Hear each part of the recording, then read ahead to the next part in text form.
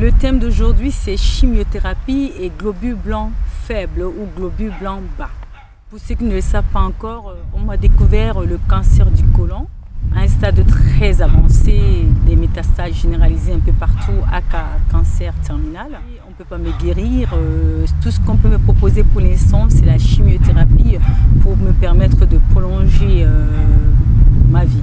Voilà, on va me gratter du temps, comme on dit médicalement. Alors, m'excuser pour le vent, je suis au soleil. Euh, c'est plus ou moins on and off, ça vient, ça part, c'est nuageux, il y a du vent, mais on est content, on est en vie, on respire, il y a de l'air, euh, voilà, tout va bien.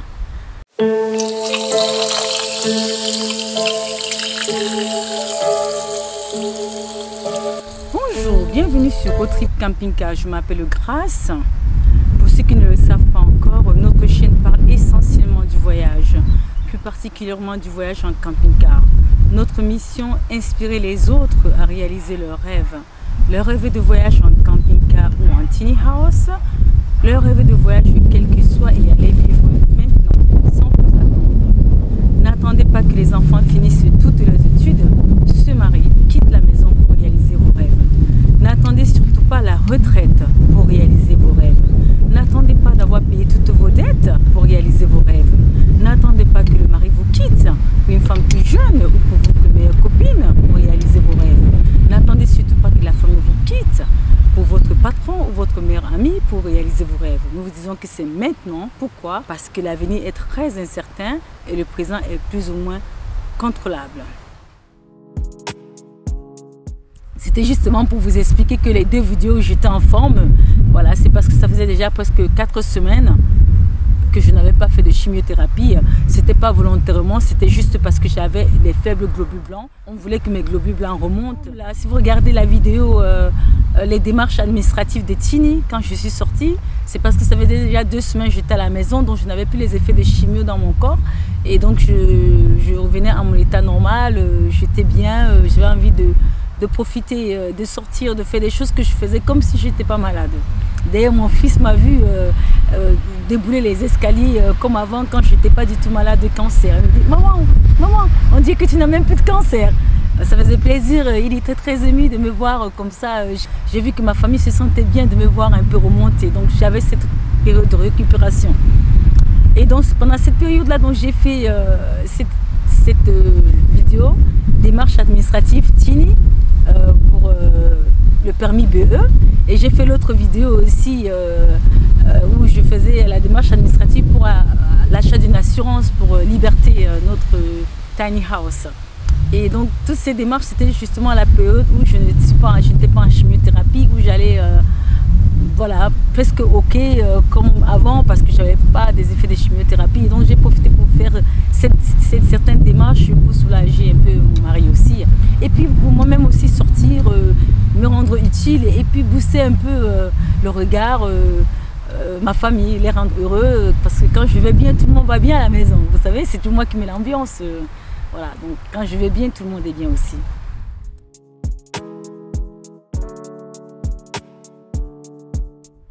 Aujourd'hui, je suis de nouveau en chimiothérapie, donc quatre semaines plus tard.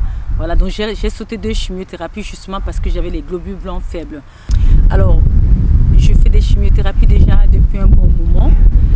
Euh, malheureusement, il paraît que la chimiothérapie, comme euh, elle détruit les cellules cancéreuses et parfois les cellules saines, euh, parfois elle a un effet, néfaste sur les globules blancs, les globules rouges, les plaquettes. Et parfois c'est même sur les globules blancs, les globules rouges, les plaquettes en même temps.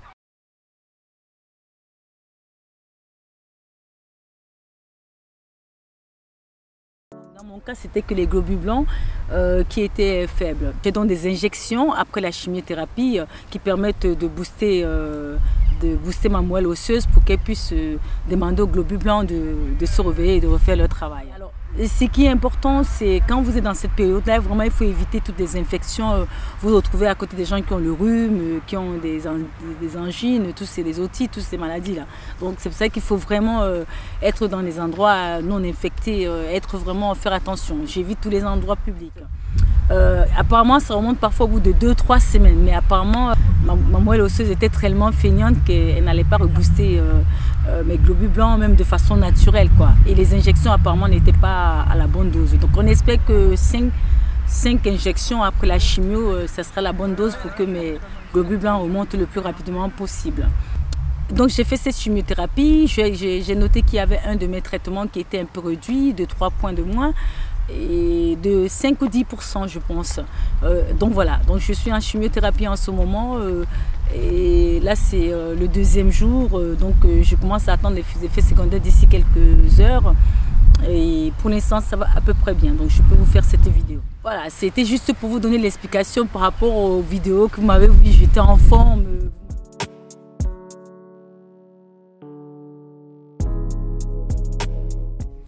Pour répondre aussi à certaines questions, beaucoup d'entre vous me disent il faut contacter Cancer Thérapie le Samouraï. Il a un cancer depuis euh, deux ans. Euh, euh, il est bientôt guéri, il est guéri, presque guéri. Voilà. je voulais vous dire des amis que je vous ai écouté. J'ai regardé plusieurs vidéos de, cancer thérapie, le samouraï. J'en ai regardé pas mal. Je trouve que c'est un bonhomme formidable qui se bat pour sa maladie. Comme beaucoup de gens qui sont malades, il ne baisse pas les bras, il motive, il booste. Euh, voilà, j'ai regardé ces vidéos, mais je voulais aussi attirer votre attention. Si vous prenez attention de regarder ce monsieur, il va chez son oncologue. Je l'ai vu justement aller euh, chez son oncologue plusieurs fois, aller à l'hôpital. Donc, faites attention à ce que vous regardez. Ce monsieur, il va chez son oncologue et il a choisi de faire le jeûne. Voilà, j'apprécie que vous m'ayez dirigé dans sa chaîne. Euh, j'ai bien regardé quelques vidéos. Je l'ai vu, j'ai entendu, il dit qu'il fait le jeûne. J'ai aussi vu qu'il partait chez son oncologue, qui suivait son oncologue, qui faisait ses examens. Alors, vous-même, vous, n'êtes pas idiot, vous regardez comme moi. Pourquoi je vous dis ça? Je vous dis ça pour que vous sachiez que je ne fais pas de jeûne. Parce que le jeûne ne soigne pas le cancer. Je ne suis pas médecin, mais je vous le dis parce que c'est comme ça. Le jeûne, il ne vous soignera pas le cancer.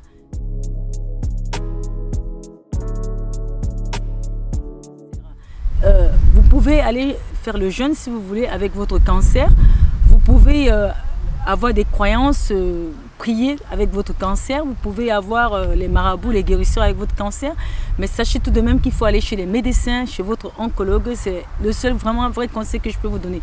Peu importe ce que vous faites à côté, tant que vous allez voir votre oncologue, c'est quand même quelque chose de plus sûr.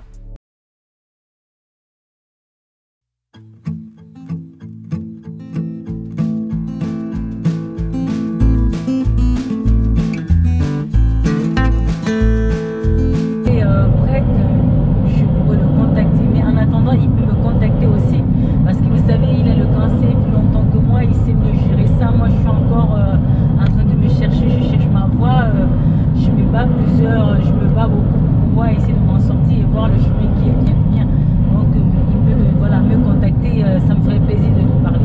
Voilà, même si je ne suis pas pour le jeune et je ne crois pas aux jeunes, ça n'empêche pas que c'est quelqu'un de bien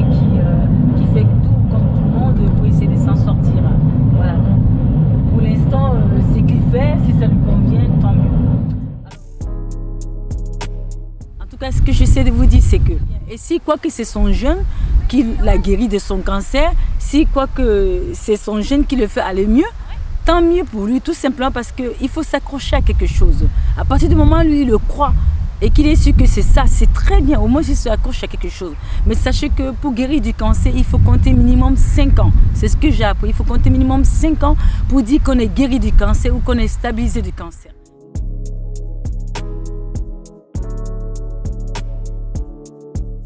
Je vais vous donner un exemple. Il y a une dame qui avait un cancer terminal.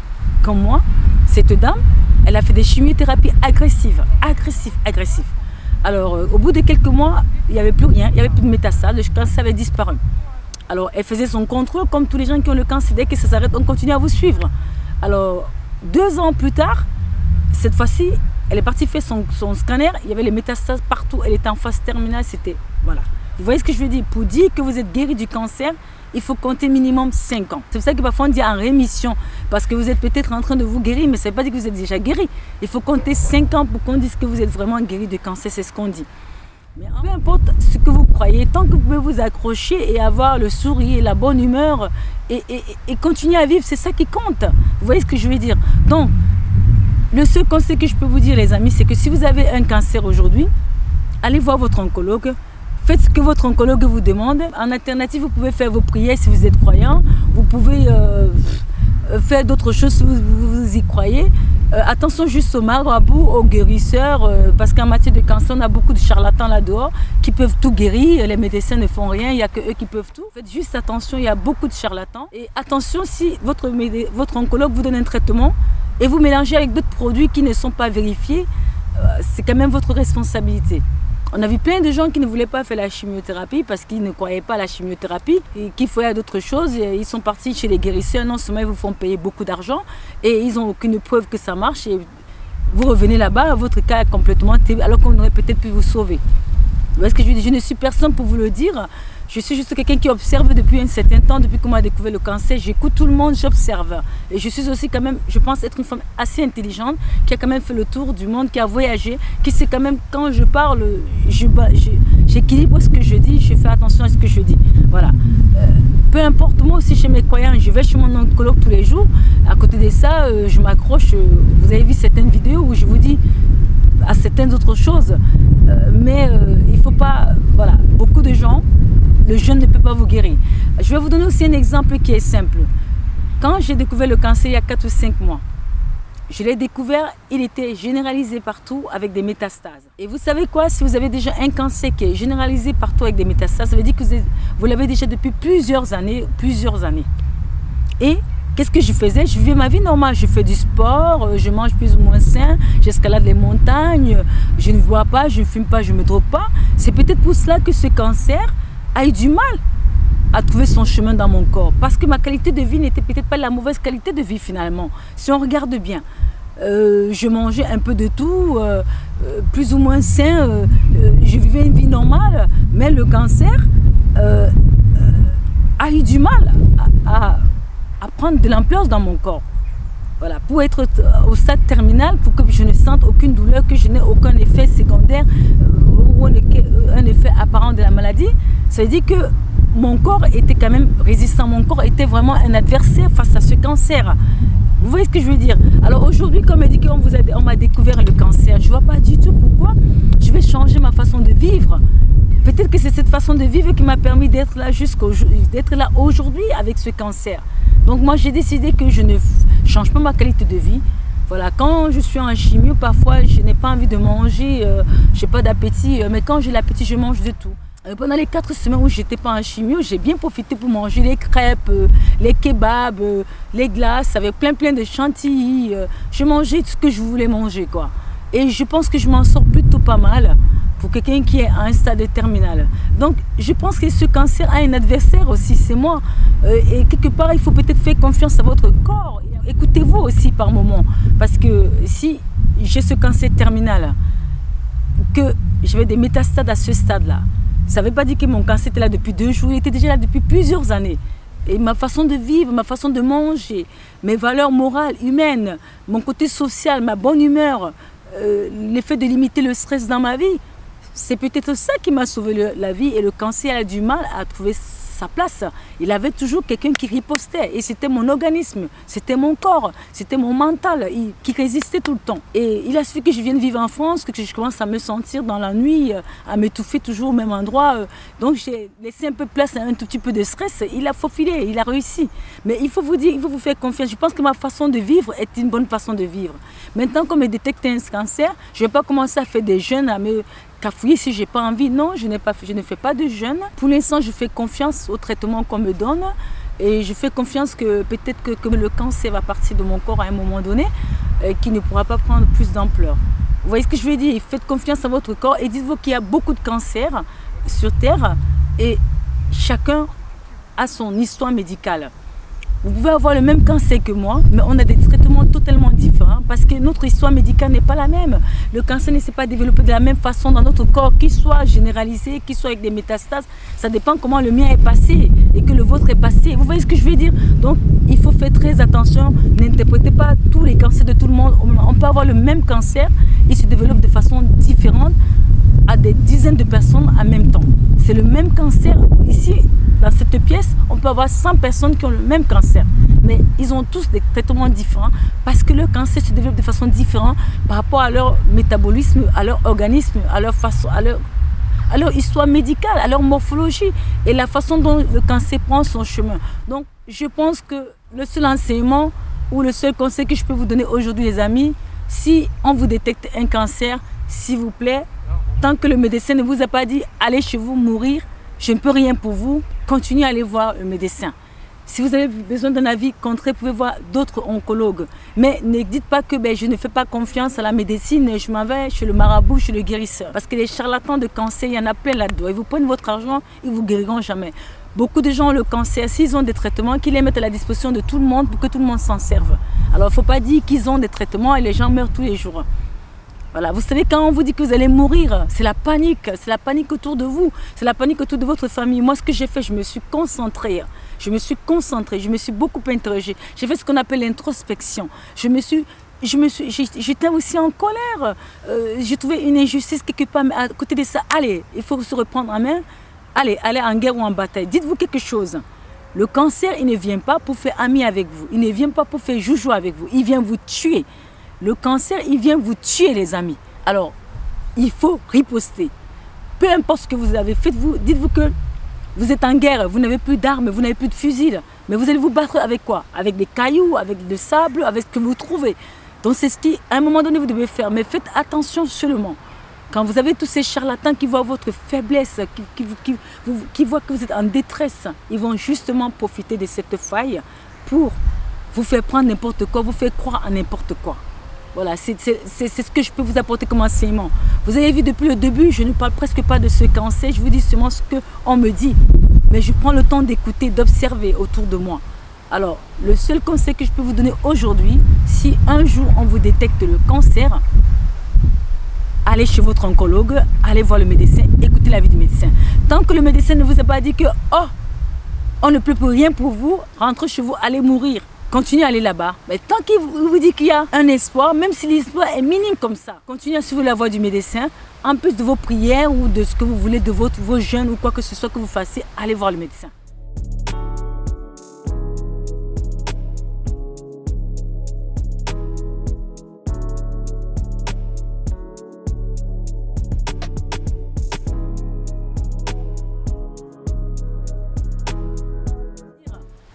Ne, dites pas que je ne vais pas voir le médecin, le jeune ne peut guérir personne. Alors, le jeune ne peut pas guérir le cancer. Il faut se vous dire que peut-être votre heure de mort n'est peut-être pas arrivée. Le cancer n'est pas encore fini au bout de deux ans. Il faut attendre minimum cinq ans pour dire. Et encore, c'est une maladie sournoise. C'est une maladie sournoise. J'ai vu plein de gens comme ça qui ont fait les, scanners. À chaque fois qu'ils faisaient le scanner, euh, de leur cancer, ah, le cancer avait diminué de ça, il n'avait diminué, il faisait que diminuer, diminuer, diminuer. Pendant 2-3 ans, le cancer diminue tout le temps un beau, beau jour revient carrément, il a, il a, grossi carrément de plus que ce qu'il avait dès le départ. Vous comprenez que c'est une maladie sournoise. Elle peut vous berner à tout moment. Voilà, j'ai justement euh, un témoignage euh, voilà, d'une abonnée qui dit qu'elle a eu son cancer aussi. Et plusieurs chimios, le cancer diminuait, diminuait, diminuait, diminuait. Parce que deux ans, deux ans et demi plus tard, ben, le cancer, il a repris carrément l'ampleur, mais cette fois-ci, il a grossi. Puisque au début, quand elle avait eu pour la première fois. Alors maintenant, qu'est-ce qu'il faut faire?